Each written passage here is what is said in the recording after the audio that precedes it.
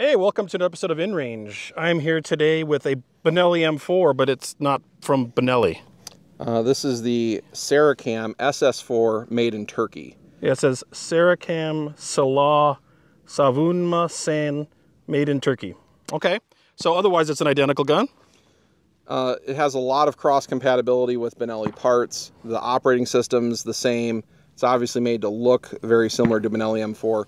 Uh, this is not the configuration it's imported in, though. Okay. Uh, be- because these guns are imported, they have to, you know, pass a sporting uh, features test, and they can't ship with a full-length magazine tube, for example. And to use a full-length magazine tube, you got to swap out some of the imported parts for domestic parts uh, to be compliant with 922R. So you this thing has an MSRP of what? 460 bucks as imported, and we can throw up a picture of what it looks like as imported. And then you added a bunch of stuff. It's got an M-LOK rail. You extended the magazine. yeah, to- so the, the U.S. parts I replaced on it were the uh, buttstock assembly. We got a Mesa Tactical Urbino. It did require some fitting to fit around the existing buffer tube.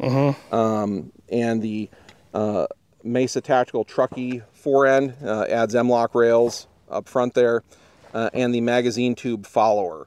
Uh, those are the easiest parts to swap out with U.S. made parts. and then you extended the mag tube as well. Correct. Okay. Uh, also note, Mesa Tactical uh, sent me the side saddle they make with a rail, and that bolted on uh, without any modifications. I did have to use the OEM screws that came with the shotgun, not the screws that came with the uh, side saddle rail. So altogether, what do you think you have into this to turn it into the beast that it is now? Ish. uh, at it like at MSRP value, probably somewhere between eight fifty to nine hundred dollars. Total. What you're talking about with the gun involved. Right. Which is still how much less than like if you were to buy a Benelli M4. I, I think you'd be looking at somewhere between two thousand to twenty four hundred dollars for the the same stuff. So uh, at least half the price. right. Okay. So I am not a shotgun, modern shotgun guy. Tell me about the Benelli M4. What is this? Why? What does it do? So the the Benelli M4, the main reason most people are interested in it in the United States is it was uh, adopted as the uh, M1014 by the uh, Marine Corps in the late 90s. When the U.S. Marines needed a new and more lethal combat shotgun, Benelli answered the call. Five samples of the M4 were delivered to the Aberdeen Proving Ground in Maryland on August 4, 1998. Here, the M4 would take on the competition and ultimately be chosen as the new United States Joint Service Combat Shotgun. And it's been featured in a number of video games, which is you know the, the main reason a lot of modern guns get popular these days. And what's the operating system?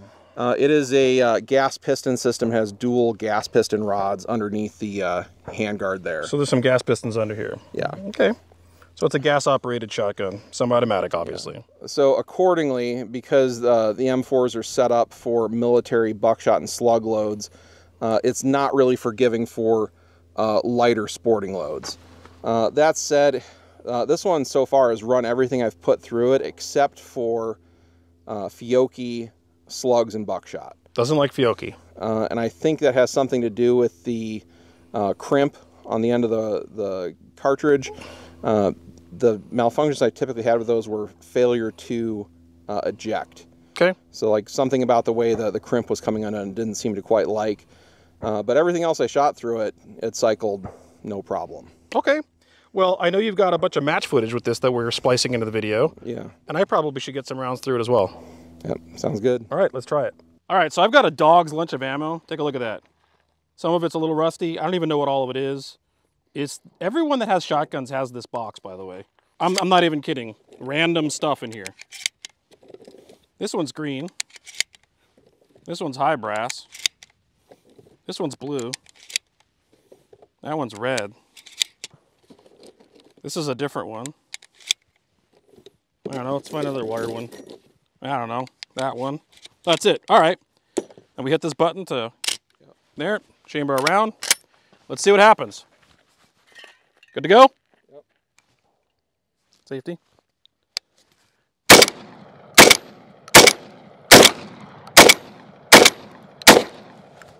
All right, let's do one more of those. That's interesting. Random crap. One, two, And I will note we have about 800 rounds Three. on this gun so far without cleaning it. four, five, six. All right. Oh, was it? There we go. Seven. Drop it. Here we go.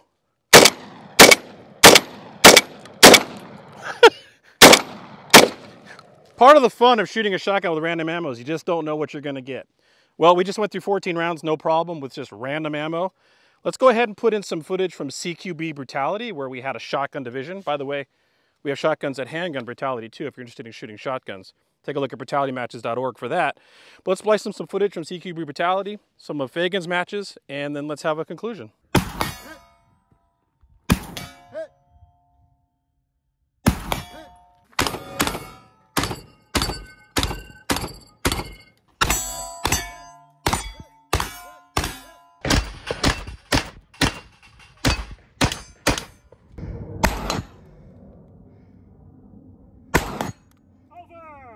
Okay, so this is the Fiocchi stuff that Fagan said didn't work. Now that the gun's been broken in, let's see if it works now. It's buckshot. Got uh, five of these. So we're intentionally putting in ammo that he said wasn't really compatible with this shotgun. So maybe now that it's been shot a bunch, we'll see a different result.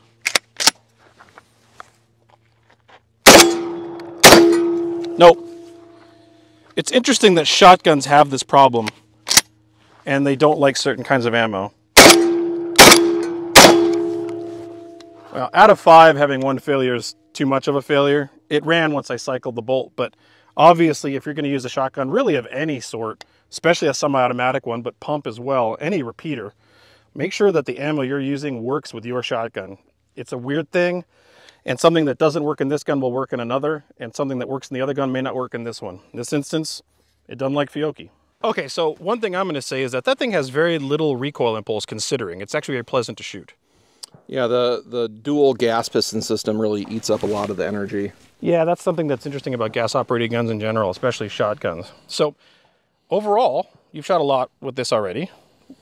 We had a, one of our other shooters use it at CQB Brutality too, and his review was positive. Yeah, it, it just works. It just works, which is what the M4 Benelli is known for, correct? Correct. Okay, unless you put Fiocchi in it, apparently. so this being a replicant, we know replicants tend to have shorter lifespans than like real humans, for example. This is a replicant of an M4 Benelli. One thing we can't speak to is its resiliency and durability. Right. Uh, that said, got about 800 rounds through it so far. Other than the Fiocchi, no problems. Uh, when I disassembled it to take a look at the internals, I didn't see anything like peening over or indicative of any like metallurgy issues. Mm-hmm. Uh, and that's usually the concern people have with, uh, you know, Turkish clones of things. Is yep. like, is is the metallurgy appropriate? And uh, the American importers now are like paying a lot more attention to what the factories are doing and uh-huh. requesting, uh, you know, process improvements, that kind of thing. So they're generally putting out a better product that's being imported than you know just a few years ago. Well, I mean, we've seen this with a bunch of Turkish stuff right now. We did a bunch of reviews of the Tisas mm-hmm. pistols, and absolutely every one of them was amazing, right. like excellent. Now this isn't the same company, but it's from Turkey, and this is another example of. Um, I remember a while back, Turkish shotguns weren't all that. Seemed no. like they were a problem. No, that, like I, I, regularly see people buying those like Im, imported like Turkish mag-fed things, and the parts just like breaking at three gun matches. So, so maybe not all created equal. No. But in terms of this one, if you're looking for an M4 Benelli clone replicant at less than half the price, this seems like it's good to go. Yeah, I'd agree. Uh, we're going to keep using it. It's a great loaner gun. You know, we're running the brutality matches. It's uh-huh. uh, I'll probably keep throwing it at people like, hey, you want to shoot a shotgun? Here you go. But all the other thing I didn't mention, it has a superb trigger. Yeah, the trigger's, almost, trigger's pretty nice. It's a shotgun. It's like a match grade trigger. It's really superb. Anyways, that's pretty cool. Um, so how did we get this? Did you buy it? Uh, the uh, importer sent it to me. They did send it to for you for review. But all the components on it you purchased. Uh, Mesa Tactical sent me the components uh, oh, to verify right. compatibility. So nice. Uh, you know that was nice of Mesa Tactical to do, and I gave him some feedback. The handguard dropped right in, side saddle bolted up with different screws.